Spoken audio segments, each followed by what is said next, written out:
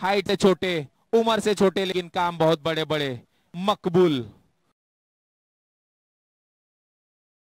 इस बार मकबूल के बल्ले से निकलता हुआ यह दंदन आता हुआ छक्का। हल्के हाथों से खेल दिया है। कवर्स की दिशा में चार रन मिलेंगे।